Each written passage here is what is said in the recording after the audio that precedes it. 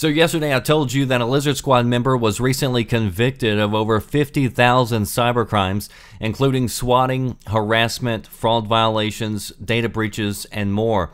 And gamers, of course, will remember that Lizard Squad was the group that claimed responsibility for taking down PlayStation Network and Xbox Live over Christmas break last year.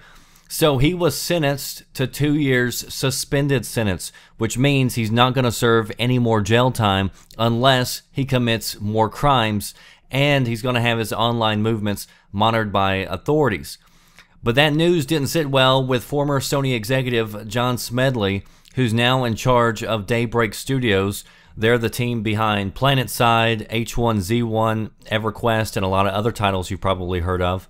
So the reason John took it so personally is because the guy who's been convicted allegedly made it personal. So last year, John was on a plane and had his flight diverted after a bomb threat was called in on an American Airlines flight that he was on. He also claims that several other things happened. So John went off today on Twitter, and here's what he wrote. This was the piece of garbage that brought my plane down, leaked my information, and did all kinds of other crap to me. It's important to note he was convicted of crimes that had nothing to do yet with the PlayStation Network DDoS over Christmas. Yes, he was a part of that. And he still has 15 other criminal cases awaiting prosecution in Finland. I may go after his parents in civil court too, little dirtbag. So stay tuned because at What Security, here's his Twitter address, he's a sociopath and we'll get what's coming to him. What they won't tell you is that he did time in jail already and got his ass kicked pretty hard inside. Tell us that story, Julius. The FBI nailed this guy literally immediately, but it took the Finnish government a long time to catch up. He should have said it took the Finnish government a long time to finish. I got to talk to this little dirtbag once when he called and pretended to be somebody else. Also, got to listen to the entire conversation between him and the American Airlines the day he called in the bomb threat. His parents need to be held accountable for his actions in addition to his going to jail. So, I'm coming for you, Julius. So, according to Smedley, there's still charges pending against this guy. And if Finland is going to claim that he was underage because he was 17 and wasn't responsible, then he's considering going after the party that would be responsible for him, which would be his parents. You know, when you're 17, your brain's not fully developed yet. Um, but uh, on your 18th birthday, if you haven't got there yet, it's like you just wake up one day and you know exactly what's right and wrong all of a sudden. Uh, but that also means the government can come down a lot harder on you, too. So I told you last night that I think this guy got off pretty easy. Uh, and I was surprised because a lot of people, well, maybe not a lot of people, but a lot more than I expected, was actually saying that they felt that Finland did the right thing here by not imprisoning him because he didn't actually hurt anybody.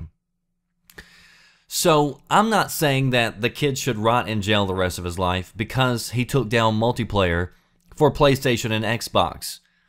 And I agree that the justice system here in the States is a complete joke. It's run like a business. You've got murderers and rapists who are, are let go to commit other crimes so that they can make room in the jails to bring in other people and you've got nonviolent criminals who are spending decades in prison over plants. You've got the entire justice system acting like a, a money making business. They've got private prisons, they got lawyers, judges, etc., that just, you know, bring in all this money by putting people away. And so I think, you know, it's a it's a terrible system and I agree that we should focus more on rehabilitation here than what we do because a lot of these people aren't leaving rehabilitated. They're they're leaving as gangbangers and everything else, a lot worse than what they were whenever they came in. And the US also has more people imprisoned than any other place in the globe when you look at the numbers per capita. So I could go on and on and on about how terrible the prison system is here. But this guy didn't just take off Xbox Live and PlayStation Network. He wasn't just an internet bully by typing out mean messages to people. He literally put people's lives in danger. And I don't think people really fully comprehend or understand the gravity of a situation until you're faced looking down the barrel of several assault rifles pointed at you from the police when you're swatted. And I mean, he also had an entire plane diverted going after this one guy. Well, those other people who were on that plane also had their lives, you know, diverted as well. And maybe some of them were trying to get places, trying to get home because they have a loved one, you know, who's in the hospital. Who knows? You know, it's not just, oh, well, it was a little inconvenience for some people. You could really impact people's lives by doing some of these things. And I get that a lot of people look at Microsoft and Sony and they say, well, they lost a few million dollars. You know, who cares? They've got money to lose like that.